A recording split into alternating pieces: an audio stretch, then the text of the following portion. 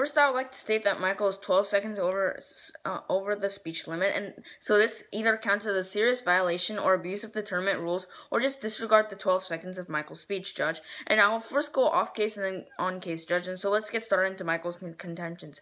Michael first states that lottery winners were unsuccessful and many went bankrupt. However, this is a very slippery slope argument because there were, say, only maybe a thousand to 5,000 lottery winners in the history of the United States, and when comparing that to 41.7 million African African American people. That is a very unfair comparison because of this the sheer amount of uh, people being compared.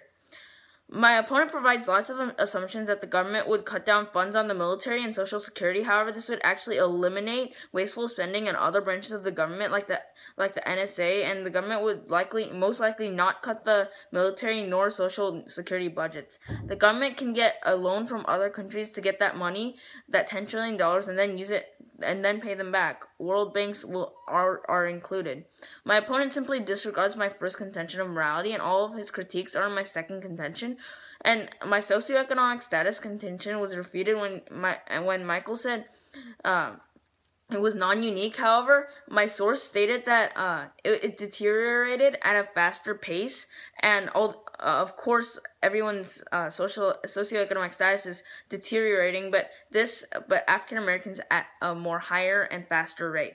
Not only this, my but my opponent goes off into a whole different tangent when he states that Irish slaves were first, and I get and I and my plan states we give no reparations to other races. I have three responses to this my first being a permutation. Perm. We can reward both African Americans and the Irish my opponent seeks to be made pay- paying reparations to. Second, Irish people were enslaved for a grand total of eight years, and my opponents, when my opponent stated, while the African Americans were enslaved 250 years. That's a huge difference.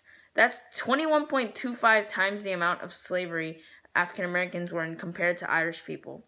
And so this this is not a strong argument. And third, there's absolutely no relevance to the resolution. So I want to ask Michael to clarify that in his next speech. My, Michael brings up the point of theft of land uh, from Native American land, which, however, we already gave monetary and land reparations to Native Americans, and I also I see no point relevance from this to the resolution. And also, my opponent stated that he does not disagree with the concept of reparations. He just disagrees with my plan and he gave his own plan for uh, if we had reparations, we um, should implement.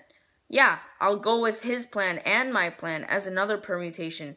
But that means he just proved it for my side, the affirmation side. And so I win this debate, not only on morality, but uh, because he agreed with me. Thank you.